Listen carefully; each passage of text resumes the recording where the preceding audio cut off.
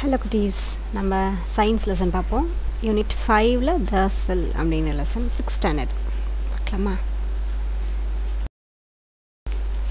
பாருங்கள் இங்கே மேலே ரெண்டு பிக்சர் இருக்குது அதை கவனித்து பாருங்கள் ஸோ அப்த ups observe the two pictures given above do you observe any similarities between them similarities அப்படின்னா ஒரே மாதிரி ஏதாவது தெரியுதா அப்படின்னு கேட்குறாங்க கண்டிப்பாக இதுவும் பாக்ஸ் பாக்ஸாக இருக்குது அதுவும் பாக்ஸ் பாக்ஸாக இருக்குது இப்போ எல்லோரும் கண்ணை க்ளோஸ் பண்ணிவிட்டு க்ளோஸ் ஐஸ் கண்ணை க்ளோஸ் பண்ணிவிட்டு இமேஜின் கற்பனை பண்ணி பார்க்க போகிறீங்க பிரிக் வால் அதாவது செங்கலால் கட்டப்பட்டிருக்கிற ஒரு செவரை அப்படியே கண யோசித்து பார்க்கும்போது what is a basic building block of the wall இப்போ அந்த செவர் அவ்வளோ பெருசாக எழுறதுக்கு முக்கியமான காரணம் யார்?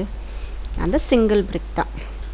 இல்லையா? அப்போது எப்படி ஒரு வீடு கட்டும்போது ஒவ்வொரு செங்கலாக அடுக்கி அடிக்கி அடிக்கி அடிக்கி அழகாக கட்டுறாங்களோ அதே மாதிரி தான் நம்மளோட உடம்புலையுமே ஃபுல்லாக செல்ஸ் இருக்குது அந்த ஒவ்வொரு செல்லும் மேலும் மேலும் மேல் அழகாக அடுக்கி அடுக்கி அடுக்கி வச்சு தான் நமக்கு ஒரு உருவத்தை கொடுத்துருக்கு. ஸோ நம்மளோட அடிப்படை நம்ம நம்ம பாடியோட பேசிக் பிளாக் என்னன்னு பார்த்தீங்கன்னா நம்மளோட cell like the brick wall your body is composed of basic building blocks அந்த நேம் ஆஃப் செல்ஸ் அதுக்கு பேர் வச்சுருக்காங்க. என்ன சொன்னால் செல்ஸ்ன்னு வச்சுருக்காங்க. அதுக்கு எப்படி செங்கல் பிரிக்குன்றமோ அது மாதிரி இதுக்கு நம்ம உடம்புல இருக்கக்கூடிய பிரிக்ஸ்க்கு பேர் வந்து செல் செல்க்கு டெஃபினிஷன் பாருங்கள் செல் இஸ் த பேசிக் ஸ்ட்ரக்சுரல் ஸ்ட்ரக்சரல்னால் ஒரு உருவத்தை கொடுக்குது. ஃபங்க்ஷனல் ஃபங்க்ஷனல்னால் அதுக்கு உண்டான சில வேலைகளை பண்ணுறதுக்கு இப்போ கிட்னினா நம்ம பிளட்டில் இருக்கக்கூடிய வேஸ்டேஜ் எல்லாம் எடுக்கிறதுக்கு. கண்ணுனா பார்வை கொடுக்குறதுக்கு. ஸோ அந்த மாதிரி தன்னுடைய வேலையெல்லாம் செய்கிறதுக்கு ஆஃப் எவ்ரி லிவிங் ஆர்கனிசம் ஒவ்வொரு உயிரினமும் இந்த கீழே இருக்கிற பிக்சரில் பாருங்களேன். உயிரினம்னா மனிதன் மட்டும் கிடையாது. ஆனிமல்ஸ் ஃபாரஸ்ட் பேர்ட்ஸ் குட்டி குட்டி பூச்சிங்க கடலில் வாழக்கூடிய உயிரினங்கள் பறவைகள் எல்லாமே எல்லாமே லிவிங் கிரியேச்சர்ஸ் சின்ன எறும்புலேருந்து ஆரம்பித்து பெரிய எலஃபண்ட் ஒரு வரைக்கும் எல்லாமே ஆர்கானிசம் தான். ஸோ சின்ன எறும்புக்குமே செல்ஸ் இருக்குது அந்த பெரிய உருவத்துக்குமே செல்ஸ் இருக்குது ஸோ செல்லுனா என்னென்னா basic structural and functional unit of every living organism இந்த பேஜில் முக்கியமாக தெரிஞ்சுக்க வேண்டியது இதுதான். The cell is self sufficient to carry out all the fundamental and essential function of the organism அந்த ஒவ்வொரு செல்லும் இருக்குது பார்த்தீங்களா? குட்டி குட்டியாக செல் இருக்கு இல்லைங்களா? அந்த ஒவ்வொரு செல்லுக்கும் சில ஃபங்க்ஷன்ஸ் இருக்குது அந்த குட்டியூண்டு இடத்துலையே அது செய்ய வேண்டிய அந்த வேலைகள் வந்து ரொம்ப பர்ஃபெக்டாக செய்யும் எல்லா ஆர்கானிசம்லேயும் அது அதுக்குண்டான வேலையை அது கரெக்டாக செஞ்சுக்கிட்டே இருக்கும். இப்போ நம்மளோட ஸ்கின்லலாம் பார்த்துருப்பீங்க சில தோலெல்லாம் அப்படியே அப்படியே வரும் இல்லையா? அந்த தோலெல்லாம் பார்த்திங்கன்னா டெட் செல்ஸ் அதாவது இறந்து போயிட்ட செல்கள். ஸோ நம்ம பாடியை விட்டு ஒரு நாளைக்கு பல ஆயிரம் செல்கள் வந்து இறந்து வெளியே வந்துக்கிட்டே தான் இருக்குது ஸோ அதுவுமே இயற்கையான ஒரு விஷயந்தான் இப்போ த செல் பாருங்கள் all living things are made up of one or more cells so எல்லா உயிரினமும் ஒரு செல்லால் இல்லைன்னா பல செல்லால் செய்யப்பட்டது. There are ver- there are variety of cells types. However they all have some common characteristic features. So பல வகையான செல்கள் இருக்குது நம்மளோட உடம்புல.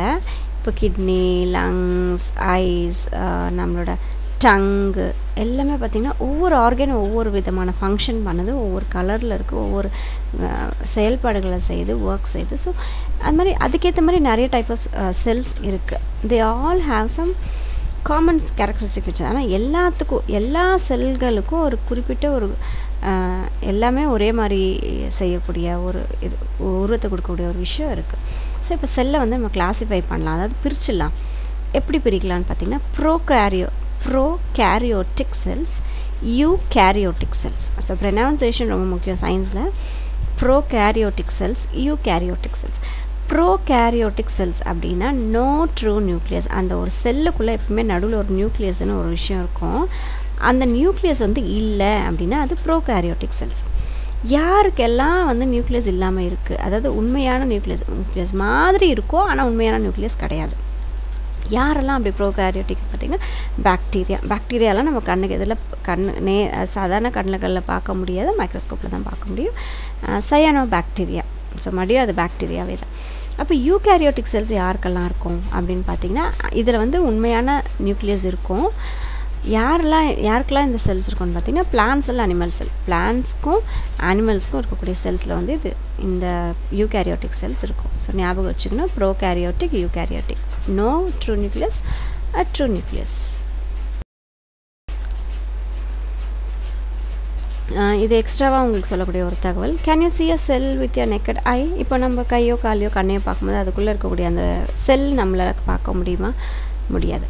செல்ஸ் ஆர் வெரி மைன்யூட் ரொம்ப ரொம்ப ரொம்ப சின்ன ஒரு பொருள் அது. And said to be microscopic microscope வச்சு மட்டும்தான் பார்க்க முடியும். கெனாட் பி சி நம்மளோட க நம்மளோட கண்ணில் அந் பார்க்க முடியாது. They can be observe only through a specialised scientific instrument call microscope so செல்களை நீ பார்க்கணும். எந்த உயிரினத்தில் இருக்கக்கூடிய செல்களை பார்க்கணுன்னா ஸ்பெஷலாக டிசைன் பண்ணியிருக்கக்கூடிய ஒரு சயின்டிஃபிக் இன்ஸ்ட்ருமெண்ட் அதாவது சயின்ஸ்க்கு பயன்படுத்தக்கூடிய ஒரு பொருளை வச்சு தான் நீ அதை பார்க்க முடியும். அதுக்கு என்ன பேருன்னு பார்த்தீங்கன்னா மைக்ரோஸ்கோப் ஸோ இப்போ வந்து எலக்ட்ரான் மைக்ரோஸ்கோப் எல்லாம் வந்துருச்சு. நிறைய இப்போ ஒரே சிலை வந்து ரொம்ப பெருசாக பார்க்குற அளவுக்குலாம் வந்து ஃபஸ்ட்டெல்லாம் அப்படி ரொம்ப இருக்காது. இப்போ இப்போ டெவலப் ஆகிக்கிட்டே இருக்குது வரு வருஷங்கள் போக போக அந்த பொருளோட தன்மையை வந்து பார்த்துட்டே வராங்க. ஸோ அந்த மேலே பிக்சரில் பாருங்கள் இது பழைய மைக்ரோஸ்கோப் பழங்காலத்து மைக்ரோஸ்கோப்ஸ் அந்த மாடல்ஸ் நிறைய இருக்குது பாருங்கள் இப்போ இந்த கீழே இருக்கக்கூடிய லெஃப்ட் சைடில் பார்த்தீங்கன்னா ஸ்க்ரீனோடவே தெரிந்து பாருங்கள் ஃபஸ்ட்டு இருக்கக்கூடிய மைக்ரோஸ்கோப்லலாம் பார்த்திங்கன்னா நம்ம கண்ணை கொண்டு போய் அங்கே மேலே வச்சு பார்க்கணும். ஆனால் இப்போ அப்படி இல்லை. கீழே ஸ்லைடு வச்சுட்டாவே ஸ்க்ரீனில் ஆட்டோமேட்டிக்காக நமக்கு தெரியும். ஸோ இந்த மாதிரியெல்லாம் இப்போ மைக்ரோஸ்கோப்ஸ் வந்துருச்சு. இதில் ஆனியன் ஒரு எக்ஸாம்பிள் காட்டியிருக்காங்க அந்த உள்ளே இருக்கக்கூடிய அந்த ஆனியனுக்குள்ளே வெள்ளையாக ஒரு தோல் ஒன்று வரும். இல்லை அந்த பிங்க் கலரில் மேலே இருக்கிற தோல் கூட இருக்கும். அதை எடுத்து நீ மைக்ரோஸ்கோப்பில் பார்த்தோன்னா அதே மாதிரி அந்த பாக்ஸ் பாக்ஸ் பாக்ஸை செல் பார்த்தோம் இல்லையா? அது வந்து நமக்கு தெரியும். டிஸ்கவரி ஆஃப் செல் இந்த செல் அப்படின்றத முதல்ல யார் கண்டுபிடிச்சிருக்காங்க? அப்படின்னு பார்த்தா நம்ம ராபர்ட் ஹூக்ஸர் தான் கண்டுபிடிச்சார். அவர் ஒரு இங்கிலீஷ் மேன் இவர் சயின்டிஸ்ட் மேத்தமெஷி மேத்தமெட்டிஷியன் அண்ட் இன்வென்டர் இன்வென்டர்ன்றது புது புது புது புது விஷயங்களை கண்டுபிடிக்கிறவங்க.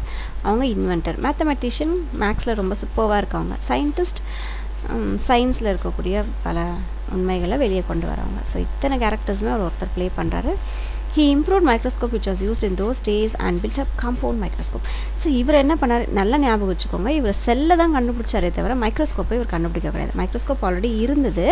ஆனால் அந்த மைக்ரோஸ்கோப்பை இவர் இப்போ டெவலப் பண்ணுறாரு ஃபஸ்ட்டு பாருங்கள் இந்த பிக்சர்லேயே காட்டியிருக்கேன் பாருங்கள் இந்த பக்கம் இருக்கிறது பழைய மைக்ரோஸ்கோப் அந்த பக்கம் இருக்கிறது புது மைக்ரோஸ்கோப் அந்த பழைய மைக்ரோஸ்கோப்பை விட இன்னும் கொஞ்சம் அட்வான்ஸ்டாக கொண்டு வந்து இதிலெல்லாம் ஒரே ஒரு லென்ஸ் தான் இருக்கும். அந்த பா காம்பவுண்ட் மைக்ரோஸ்கோப்பில் நாலஞ்சு லென்ஸ் இருக்கும்.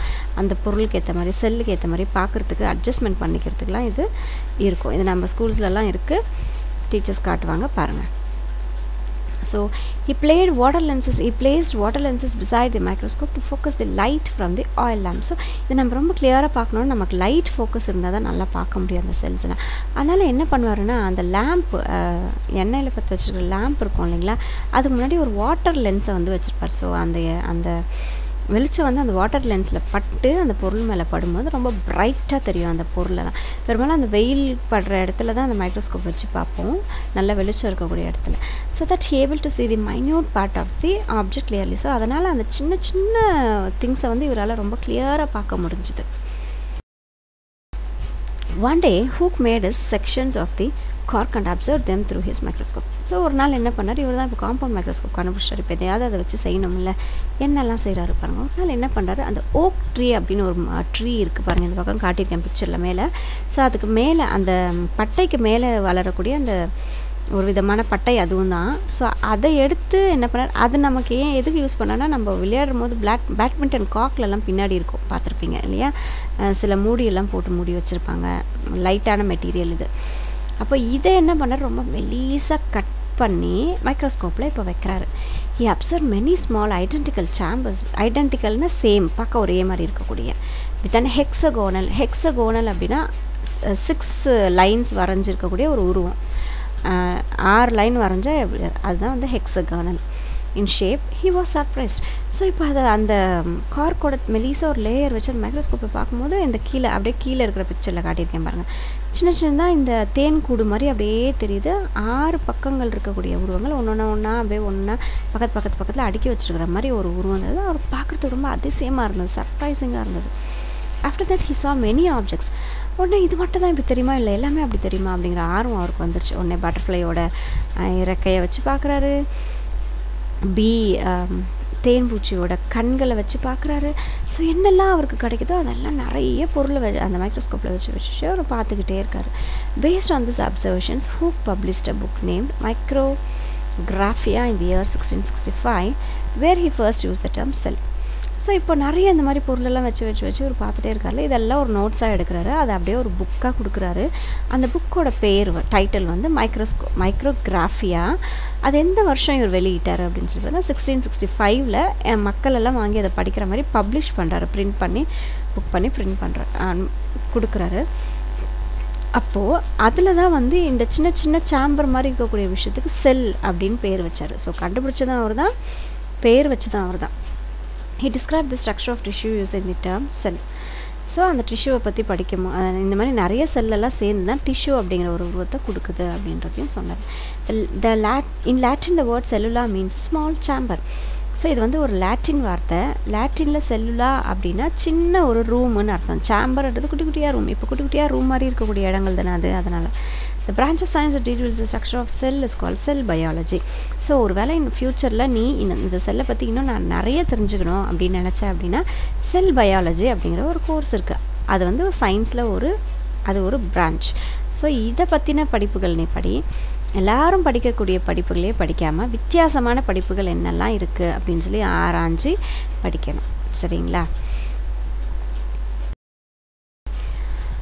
Be like the stem cell differentiate your cell from others so இங்கே நம்ம செல்லை பற்றி படிக்கும்போது ஸ்டெம் செல் அப்படின்றது இப்போ ரொம்ப ட்ரெண்டிங்கான ஒரு விஷயம். அதாவது குழந்தை பிறந்த உடனே அந்த தொப்புள் கொடியை வந்து எடுத்து பத்திரமா சேர்த்து வைக்கணும் அப்படிங்கிறாங்க. என்னென்னா அங்கே தான் வந்து ஸ்டெம் செல் இருக்குது இன்னும் நிறைய இடங்கள்ல இருக்குது பட் அது முக்கியமான ஒரு இடம்.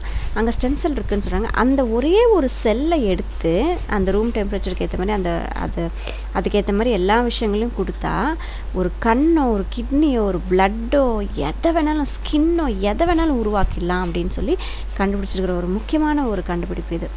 ஸோ மற்ற செல் வந்து இருக்கும் அதோட வேலைகளை செய்யும் இறந்து போயிடும் ஆனால் இந்த ஸ்டெம் செல் வந்து என்ன பண்ணுது? இருக்குது இதை நம் இதுக்கு நம்ம இதை வளர வச்சோம் அப்படின்னா இது ஒரு பெரிய ஒரு பொருளாகவே அதாவது எப்படி இப்போது நம்ம கார்லேயோ வண்டிலேயோ பார்ட்ஸ் எல்லாம் போயிடுச்சுன்னா நம்ம வேறு பார்ட்ஸ் புதுசாக கொண்டு வந்து செஞ்சு கொண்டு வந்து ஃபிக்ஸ் பண்ணுவோம்ல. அது அந்த மாதிரி ஸ்டெம் செல்லுன்னு வச்சுக்கோங்களேன். ஸ்டெம் செல்லேருந்து புது புதுசாக பொருள் நம்ம உடம்புக்கு தேவையான விஷயங்கள் எல்லாம் உருவாக்கி அதை கொண்டு வந்து நம்ம பாடியில் ஃபிக்ஸ் பண்ணிக்கலாம். அதுதான் stem cell so stem cell மாதிரி இருங்க. நீங்கள் ரொம்ப யுனிக்காக இருங்க. உங்களுக்குன்னு ஒரு ஸ்டைல் உங்களுக்குன்னு ஒரு டிஃப்ரென்ஷியேஷன் வந்து நீங்கள் கொண்டு வாங்க.